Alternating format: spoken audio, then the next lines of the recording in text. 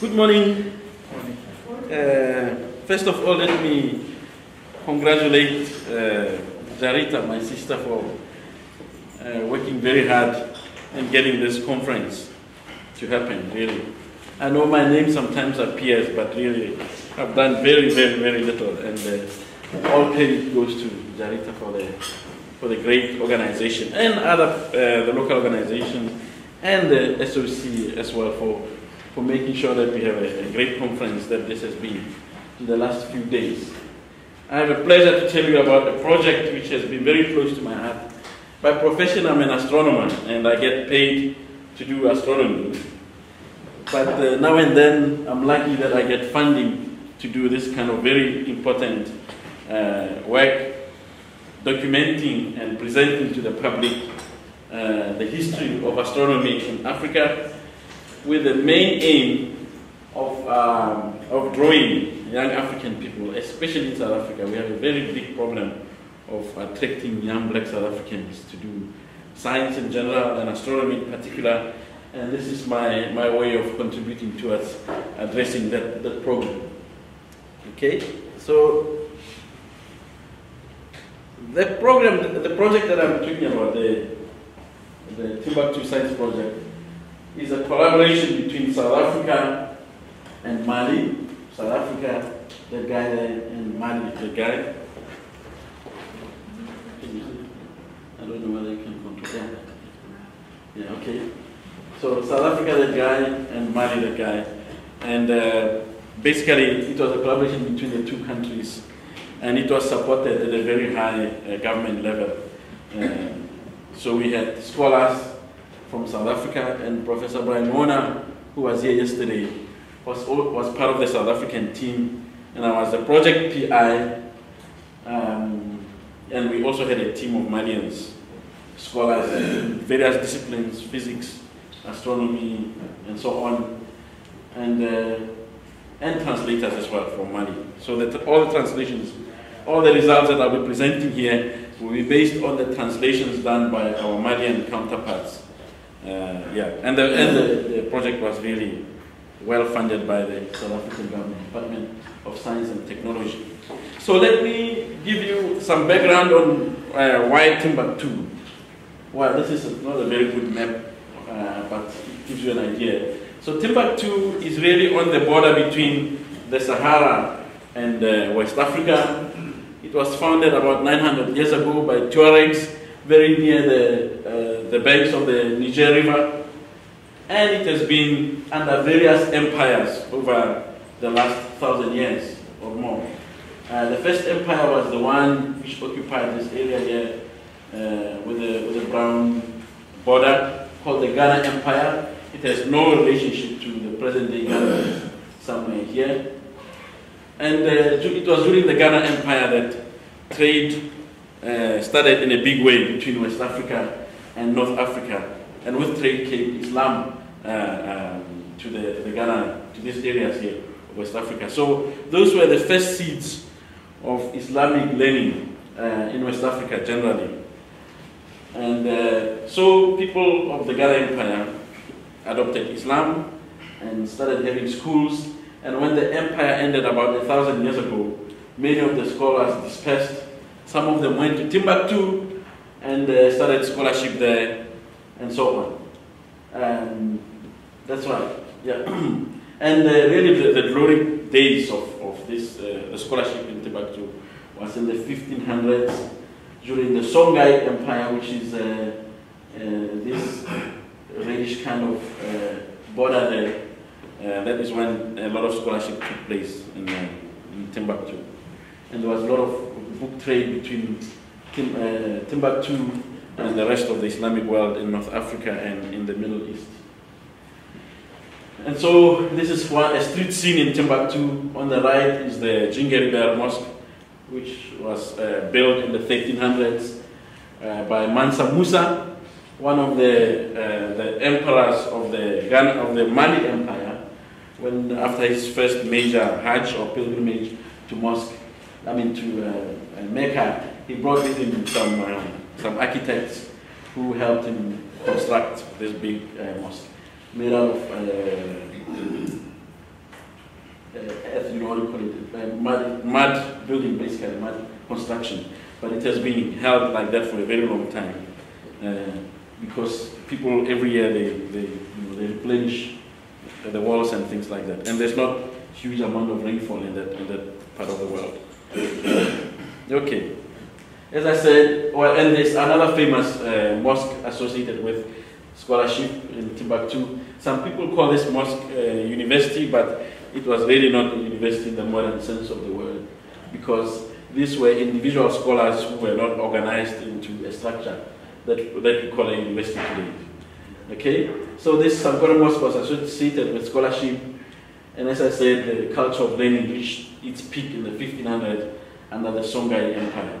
And unfortunately, it suffered a major disruption in 1591 when Timbuktu was invaded by Morocco, and many of the scholars were uh, exiled to, to various areas, some in North Africa, uh, some in, uh, in, the rest in West Africa as well. And uh, I mean, this is an example of, of how these manuscripts look like, loose uh, sheets of, of paper with all the, the writing in it. Uh, some of them have a, a, leather covering and things like that. And most of the, the books are written in Arabic, but some of them are written in local languages, in Songhai and in uh, the Tuareg language, Tamashek, I think. Okay? And I said before there a thriving book trade uh, between Mali and uh, the, the, rest of the Islamic world, but also lots of local scholars wrote their own books. Uh, and the, the books covered Quranic studies, medicine, astronomy, and mathematics. Okay. And what struck us when we studied these books was that there was no mention of what, of what we call uh, African, local African, pre-Islamic uh, cultural astronomy in, in these books. It's a very interesting uh, uh, thing why, why that is so. And here I list some of the prominent scholars that are known in, uh, by the scholars of Islam. Ahmed Baba definitely appears in, uh, in many of the references that I've read on, uh, not necessarily for astronomy, but for his law, Islamic law, uh, uh, uh, I mean, publications and things like that. He published around 60 books on Islamic law, and he's one of the people who exiled, exiled in Morocco in 1592.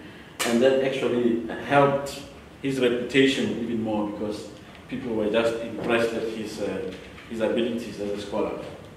But Ahmed Baba, famous as he was, was a student of this lesser known man called Muhammad Bagayogo al-Wangari. He died in 1594. And, I mean, as I said, he was a teacher of Ahmed Baba. Okay. And another example is this Mahmud Kati, who lived in the 1500s and was related to Askia Muhammad, who was the, the second emperor of the Songhai Empire. Okay? So the, the presentation of, uh, of what we find in, I mean, my, my, most of my presentation will be based on the two manuscripts written by these two authors here. And unfortunately, both of them uh, are from the 1700s, and we have not really found uh, any book on astronomy uh, older than uh, these two. Both of these books are 100 page long.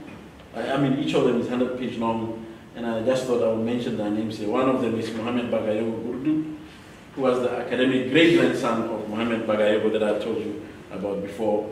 And this one, and he lived definitely in Timbuktu, and I'll show you a diagram that I got from one of the books that indicates uh, where he stands with respect to the other uh, scholars that I mentioned. And the other one is Abu Abbas, he originates in the north, from the north of Timbuktu, but uh, I mean in his book he, he does mention Ahmed Baba and he also indicates that he knows Timbuktu. So he could be from Timbuktu or he could have spent, could have been just a visitor in Timbuktu. And so this not very clear diagram shows you uh, the, how the knowledge was transmitted by the various scholars uh, dating back to the earlier times uh, to the various, uh, uh, through various scholars. But the most important thing to note, and unfortunately this is not very clear, is to notice that there's this guy here, Muhammad Bagayogo, who was a teacher of Ahmed Baba, who was the teacher of Mahmoud Burdu, who was the teacher of Mahmoud Burdu, uh, um, um, Muhammad Bagayo Burdu. This, this guy is one of the, the authors of the, the work that I'm representing. So he was, that's what I meant that he was an academic great grandfather of, uh, I mean, that Muhammad Bagayo was an academic great grandfather of this man who died in the early 1700s, around the 1720. Okay, so there is a very nice picture that, I, that makes me very proud because that's me that had to believe. I was much younger back, then. Uh, in front of that building, which was the house of Muhammad uh, uh, in the 1500s. And this guy lived around the time of Tycho Brahe and all those great astronomers from Europe.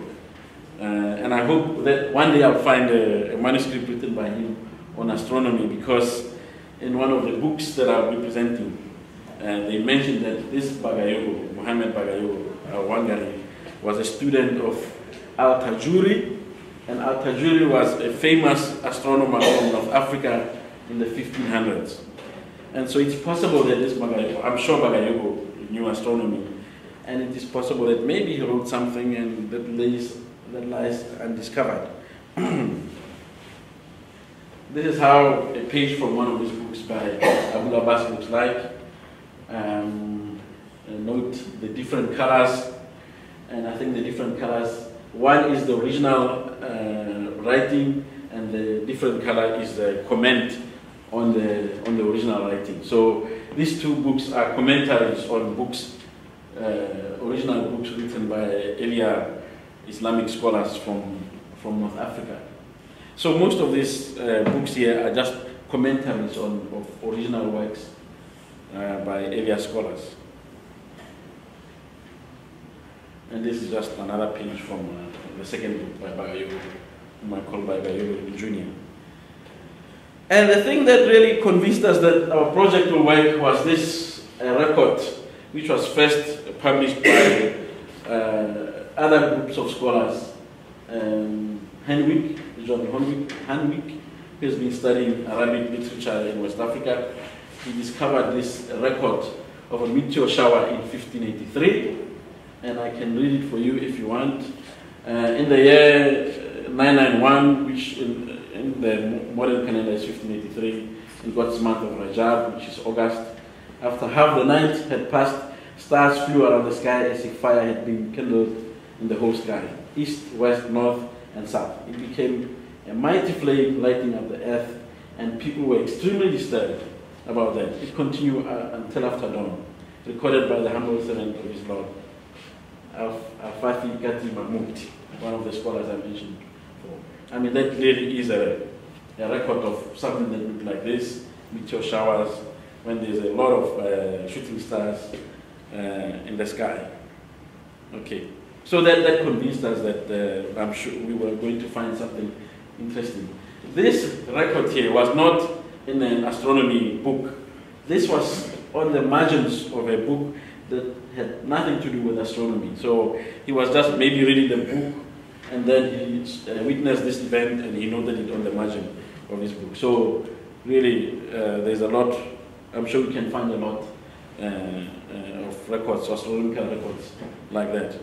And of course, the interesting thing is that this record was made 11 years uh, after Tycho Brahe recorded uh, a supernova uh, in 1572. So I'm sure this guy probably, maybe he did uh, notice that supernova, and maybe if we search that, we could find his own version of uh, his observation of that supernova.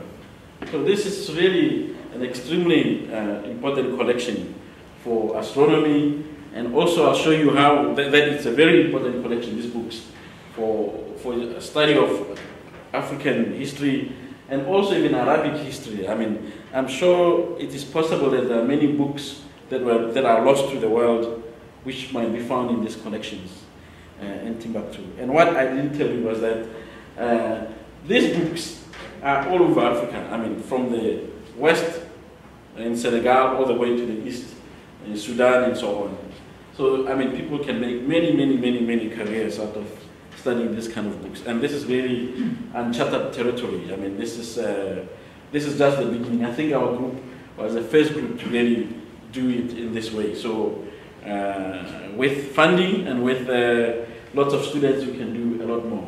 And um, maybe, I mean, at this point, I should also tell you that unfortunately, in, in 2008, funding for our project stopped, probably because there was a change of government, whatever. But uh, I was very sad to see that happen because, I mean, the project underwent a thorough review uh, by the National Research Foundation and it passed the review and uh, still it was not funded. Very sad. Okay, so what do we find in the books? Uh, we find a model of the solar system. Again, if you allow me, I can read it for you. Uh, this is direct quotation and quote of what is, uh, was written, translation of what is written in these books. Uh, he said that the orbits that God created in heavens are nine, seven of them bear planets, the eighth bears some other stars, the ninth is void of planets. The illustration of that is the moon is in the orbit next to us, so in this model the, the moon is closest to the earth. There is no other planet next to us not the, except the moon, if not the moon, except those stars that are said to be uh, used for to throw at the devil, something like that. So, so uh, the moon is closest, the closest planet to us, but closer, even closer than the moon, uh, are these stars which I used to throw at the devil. So these are the, the shooting stars. So the shooting stars are closer to the moon, the, closer to the earth than the moon. After the moon comes Mercury. Uh, hinted that the orbit is bigger than the one below it and smaller than the planet above it, something like that. Uh, the third is Venus. The fourth is the Sun. The fifth is Mars. The sixth bear Jupiter. The seventh Saturn. The eighth best. Other planets rather than this. So this the eighth is for the stars. The ninth is empty. This means that there is no planet there, but the, but eight planets share it. Every one of them rotates around it, and once every day and night with the mind of God. The orbit is where a planet makes a round voyage. God said every one of swims in an orbit. We are at the center of the orbit. So there is a description of a of really ancient Greek uh, model of the solar system or model of the universe that found its way into Islamic uh, astronomy and that found its way to West Africa via trade and, and, and, and in that way. Okay, and they even explain what the, the different orbits are. Yeah, so this, this, is, uh, this is what people were studying in the 1700s in West Africa. And in fact, Abul Abbas, the, one of the authors of these books that I'm presenting, uh, mentions in the introduction of his book that he wrote that book, which was 100 pages long, uh, after the request, upon the request of his students to do so. Uh, so apparently students needed a textbook, uh, or something like that, a textbook on, on basic astronomy. And that is what uh, was included.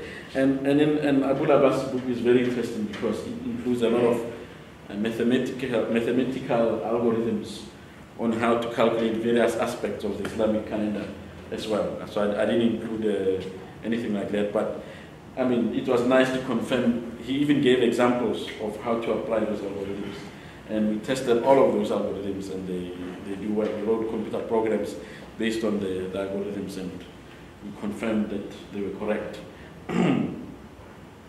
so we also find a lot of, uh, a couple of manuscripts that involve uh, how to calculate things like the, the latitude of a place. And they, they mentioned that they do that by using the, uh, the pole star Polaris and also using a quadrant like that. Yeah, and we also hear of how they calculated the longitude of a place by using the lunar eclipse. So someone would be sitting in Timbuktu and another one in Mecca observing the same lunar eclipse and timing when that takes place and the difference in time would give you the difference in the longitude of the place. That's how they used to, to calculate these things. And they would use those differences to calculate something called the Indian circle, where this is the location of a person, and they want to find direction to Mecca. This is north, that is south, that is east and west. And so you are located there in Timbuktu, you work out the, uh, the latitude difference there in Mecca uh, with respect to someone in Mecca and the longitude difference from the, uh, the lunar eclipse, as I said before, and this line here which you draw on the, on the ground point uh, shows you where you should point when you're playing, uh, when you do your prayers. Okay, so that's how they apply their knowledge. And during the day, they use, they measure time by looking at the, the length of the gnomon, um, which was standard anyway. And that's how, and for example, but the different lengths of the shadow uh, told them, gave them an idea of when to, uh, to do different uh, Islamic prayers, you know, the, the, midday prayer, the afternoon prayer, and things like that. And at night they use lunar mansions, which was explained a few days ago, I think, or yesterday, uh, that we have these different uh, asterisms where the moon each appear to be visited by the moon as it goes around the earth, and uh, they use that in the evening to, to determine time. I mean, the, the, the time difference between the occurrence of two successive lunar mansions is approximately an hour. Not exactly, but approximately. Okay, so all of this I've presented before uh, in a paper or various uh, publications, but my talk today really is about the updates. What have we done uh, since the last publication of our work? And that work was published in the year 2008. Okay, so I'll first summarize the achievement of our project. We translated 28 out of 35 manuscripts from the Ahmed Baba Center, only that the library, which is the main public or government library in Timbuktu, and most of them are commentaries on the work by two Maghrebi scholars. One is Abu Mukri. This man was a scholar or an astronomer in the 1200s. Uh, he wrote a poem and a lot of the, the books or the manuscripts we found were commentaries on this man's poem. Abu Mukri, have 10 minutes. Okay, thank you. Okay, and another one is this Al Tajuri who lived in the 1500s uh, that I told you about. So, uh, Muhammad Bagayogo Gurdu, or Muhammad Bagayogo Jr., his book was a commentary on Al Tajuri, and Abu Abbas uh, wrote a his book was a commentary uh, for, on, on that Abu Mukri there. Okay? And we also found some astronomy poems. These are really, uh, they are not something, uh, they are not uh, things to enjoy, these astronomy poems, because they are very hard to read, to understand, and uh, our translators simply could not translate them. And we collaborated with people in Germany, uh, and an Institute of Islamic History of Astronomy. They could not translate those poems. So these are very, very hard. I mean, they're supposed to be uh, made for people to make it easy for students to learn astronomy, but they are really, really hard to, to translate. Okay. And also we found uh, one astronomical zij, uh, which is a whole collection of, of this table. A zij is a data, astronomical data table, and it contains all kinds of information and data that you need to calculate time precisely and and other similar kind of, of calculations. And this is a very interesting find because I gave it to the experts in Frankfurt, as I said, and uh, they found that it was a collection of zijes from Ibn Yunus.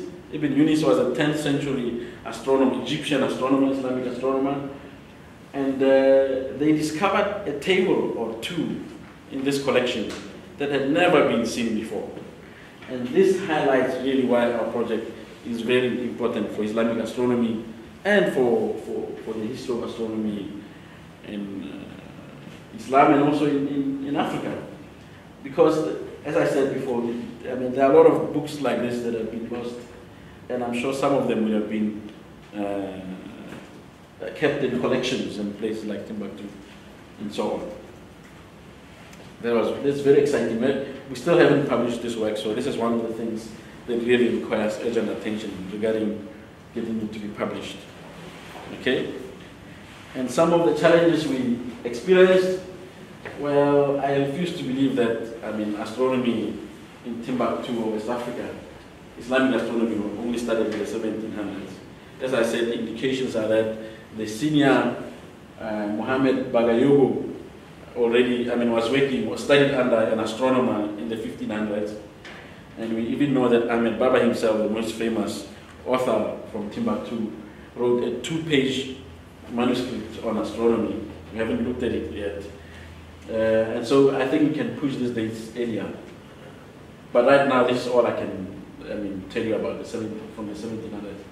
And uh, this, what I said before earlier, I mean, maybe on Sunday, was that I've been to a school outside Timbuktu where students today still use this manuscript, manuscripts to study astronomy in their schools. Okay, um, yeah, Ahmed Baba, yes, as, as I said, and so the question is where are the earlier texts? Another problem was dating the manuscripts. Not all the manuscripts were complete. In fact, many of them were not complete. And the complete ones usually have the name of the author and the date that the manuscript was written or copied at the very last page.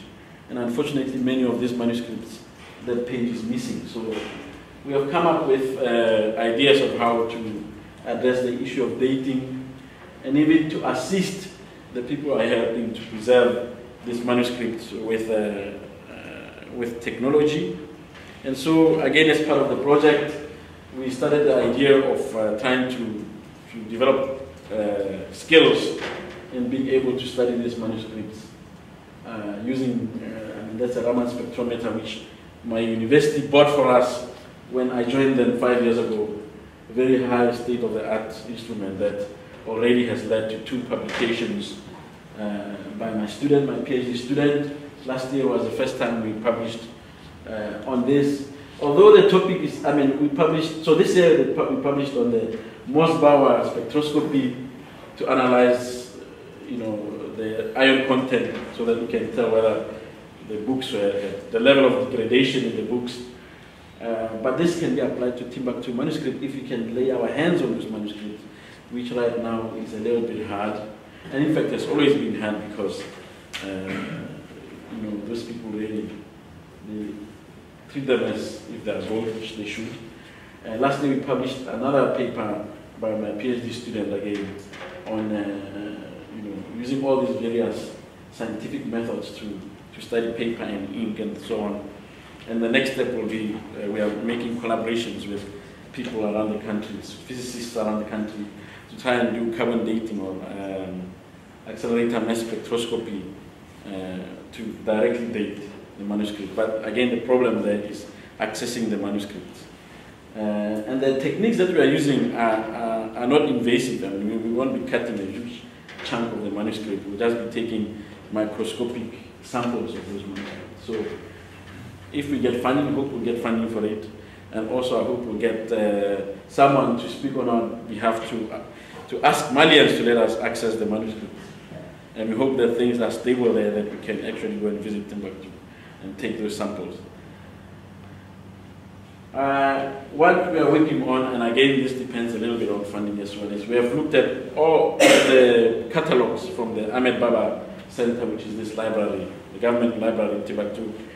They have about 30,000 manuscripts in their collection. Uh, they've catalogued only like less than 10,000 or 9,000 of them.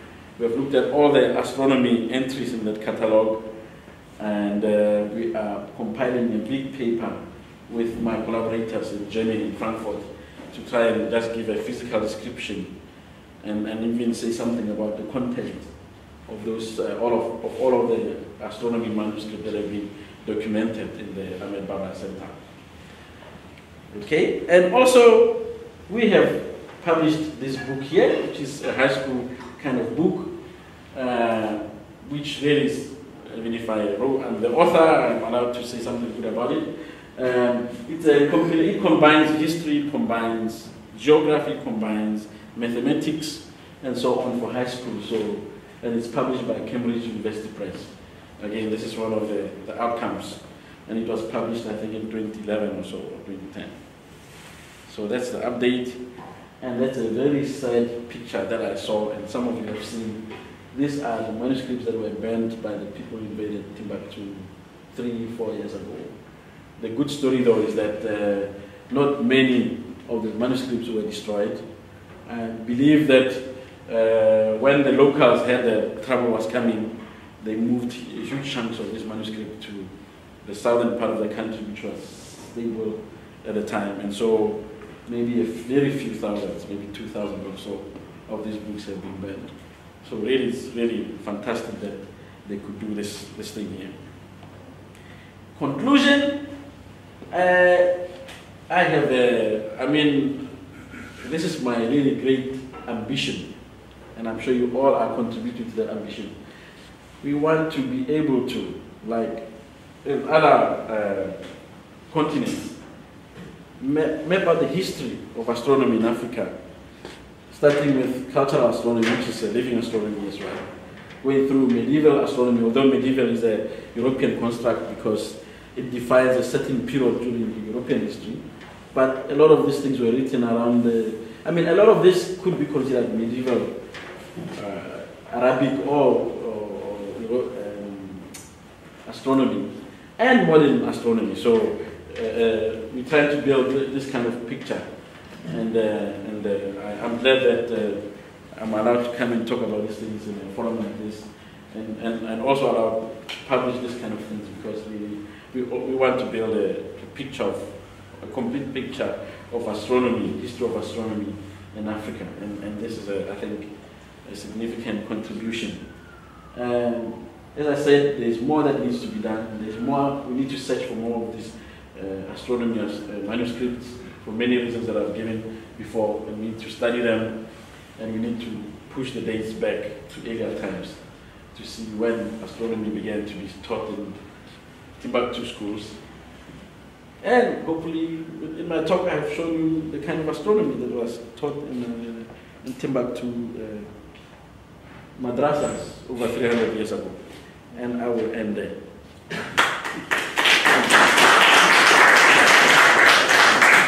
Thank you, Thebe. Um, do we have any questions? Perhaps I wonder if we could get Leslie set up while we're answering questions.